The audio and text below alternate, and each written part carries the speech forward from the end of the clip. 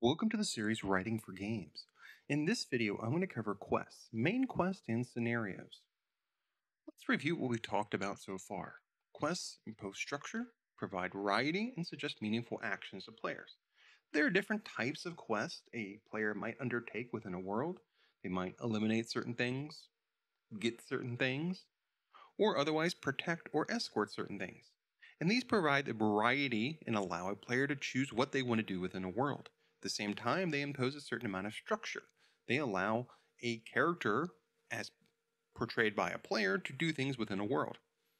They also suggest meaningful actions. They allow players to shape how they want to play. They can choose some actions over other actions based on either explicit rewards, what a quest might suggest the reward is, or more implicit rewards of completing certain tasks in certain ways.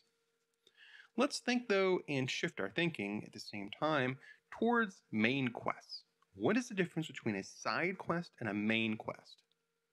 Principally, the main quest propels the central plot. We can take on side quests to maybe help out a farm, maybe defeat a creature, or otherwise help small things. A bit of a region, a town, a farm, or something like that.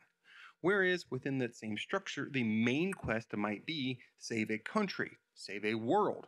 They propel the central plot. There might be some side things going on, but the main quest, almost always labeled such, is a grander scale. We are saving a planet, saving a country, saving a world, and by completing tasks associated with the main quest, we're propelling the central plot.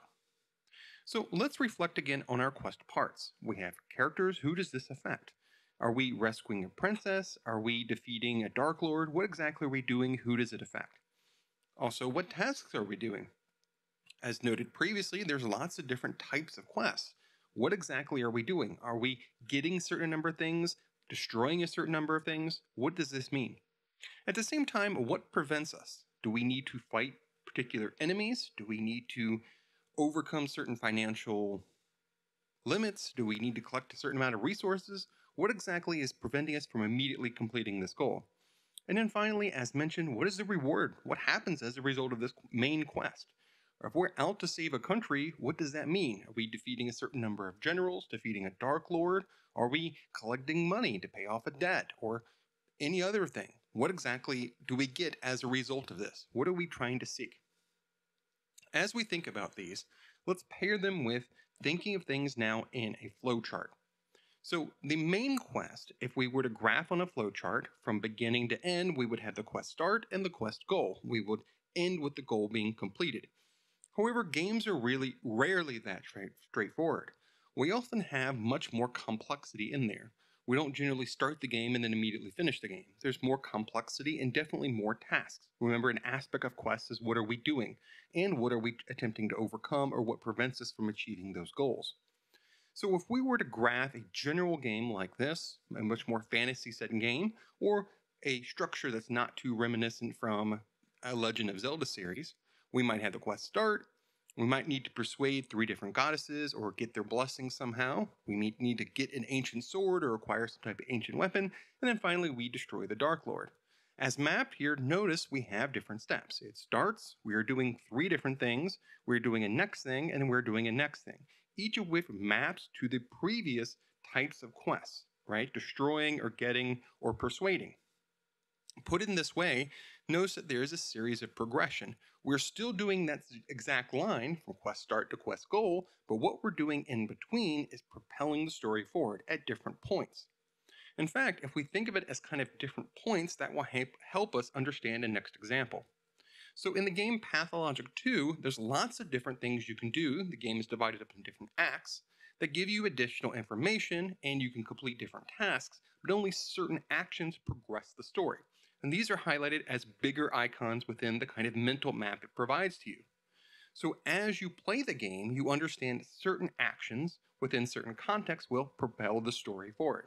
At the same time, there are also side quests, side events, side tasks you can do, additional information you can collect, but only certain actions propel that story forward. So as we're thinking about a main quest and propelling the story forward, we can also think about a main quest as establishing story-driven checkpoints. So we're talking about game design and development. So, principally, if we were talking about writing a story, there might be certain quests that need to be done. We are might have our hero meet the wizard, get the sword, and having written on the page that might take up 20 pages or 30 pages or 50 pages or 100 pages or maybe an entire book. Within a game, though, we often establish story driven checkpoints where the mechanics of the game meet the story of the game. In these points, the checkpoint asks the player to perform a particular action. Or put another way, we might think of them as mechanical checkpoints or mechanical gates in that the player needs to demonstrate a certain mastery of a particular mechanic at that particular checkpoint. So, for example, we might ask the player via the character early on to complete a certain number of sword maneuvers, and then we might have quests connect to those sword maneuvers. And then, as part of a boss fight that indicates a story driven checkpoint, we might then have a boss fight that then asks them to perform multiple sword maneuvers in connection to each other. So that the player is learning these maneuvers as the character is, and then we're establishing a story driven checkpoint in which all those maneuvers are needed. So if we think about kind of side quests as a, as a collection to or in parallel to complementing a main quest, then we can start to think a little bit about story urgency. What allows or prevents side quests? Is there a time limit based on the main quest? Does it need to be completed in three days, two days, or two weeks? Or is there no urgency at all? Often we find in the Elder Scrolls games that there's very little story urgency. The character, as driven by the player, can go off and do a bunch of other things, and then when they're ready, they can take on the main quest. And this is often true of very large role playing games, where often there's very little story urgency. So, what prevents side quests? Generally nothing. And the player can take on lots of variety of things. At the same time, some games put resource limits or resource requirements as associated, as associated with side quests in connection to a main quest. That is, there needs to be a certain gathering of allies, gathering of resources, or gathering of power requirements, a level requirement in other words, before they can take on that story driven checkpoint. This is often very common in much more action oriented games. For example, if we were to map this in our previous example of what needs to be done throughout a main quest, we might think of it as different leveled progression. Each one is a story driven checkpoint to the next thing. In order to move to persuade the goddesses, you need to be level 10 plus. Maybe you can sneak by if you're very good as a player and get your character perform certain actions or certain maneuvers, but generally you need to be at least 10 plus, and then 20 plus, 30 plus, and then 40 plus to finally destroy the Lord. Now, maybe the character level is much higher than that at these different kind of gates or checkpoints, in which case it might be an easier time.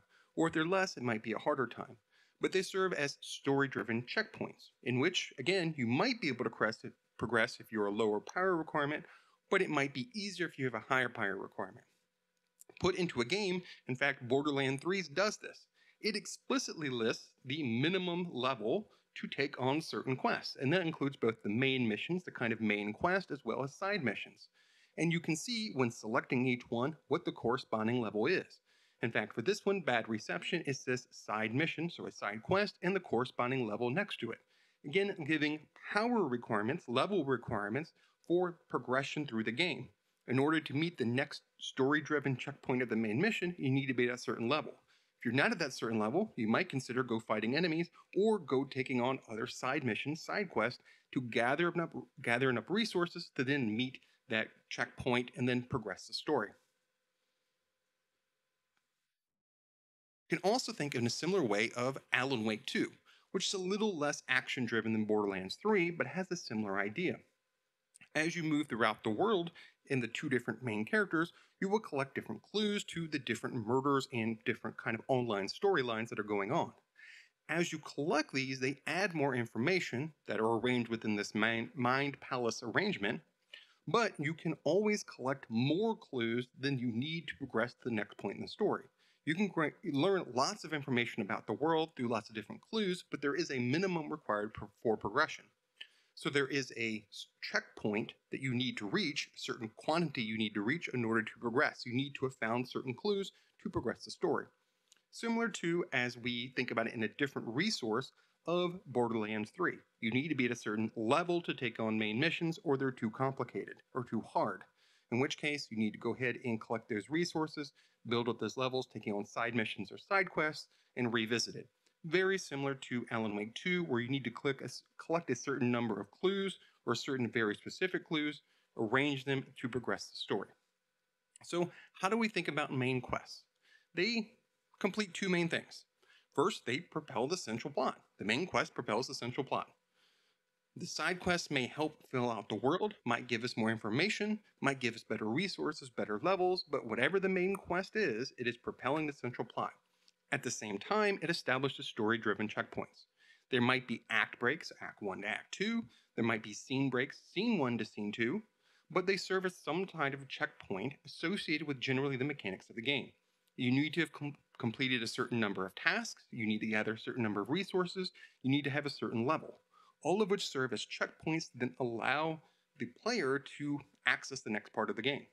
So again, as we think in game terms, these are story checkpoints or story-driven checkpoints that are connected to mechanical goals. Not only are we propelling the central plot as if it was a kind of longer written work in a novel, but we're also connecting it to the mechanics of the game. What does a player need to demonstrate mastery of to access the next part of the story? Story driven checkpoints, as well as propelling the central plot simultaneously as part of the main quest. Thanks for watching.